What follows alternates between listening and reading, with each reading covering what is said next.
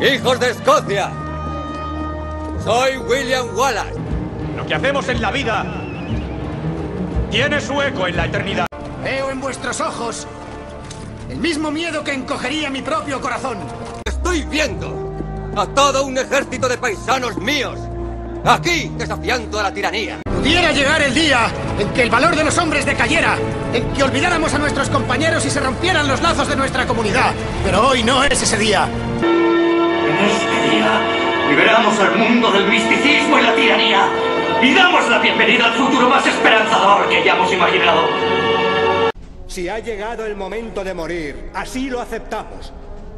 Yo solo os pido que si vamos a entregar nuestras vidas a esos cabrones, hagamos que antes visiten el infierno. Luchad y puede que muráis. Huid y viviréis.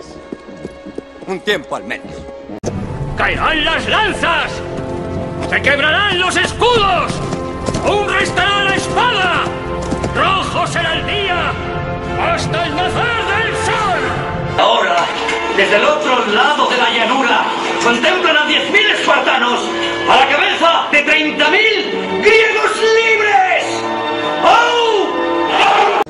Y al morir en vuestro lecho, dentro de muchos años, no estaréis dispuestos a cambiar todos los días desde hoy hasta entonces por una oportunidad, solo una oportunidad de volver aquí a matar a nuestros enemigos.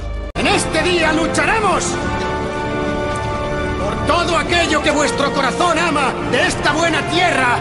Os llamo a luchar, hombres del oeste. Y aquí, ahora en esta escarpada tierra llamada Platea, las hordas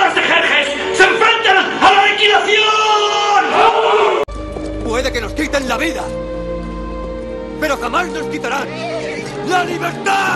¡Muerte! Demos las gracias a Leónidas y a sus 300 valientes. ¡Hacia la victoria! Por Frodo. Por la muerte y la gloria. Por Rohan.